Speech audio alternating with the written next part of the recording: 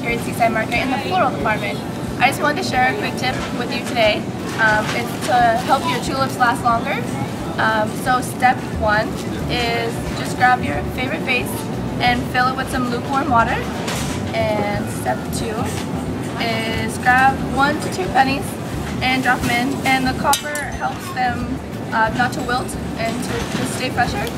And step three, uh, just take some you know, scissors or pliers, whatever you have around the house, and cut them at an angle, just like this. And it helps them kind of stand up and give them a little bit of room to soak up the water. And then just take them out of the wrapper, like so.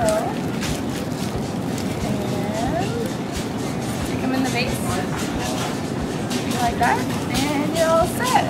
Well, thanks so much for watching. Have a great day. Bye.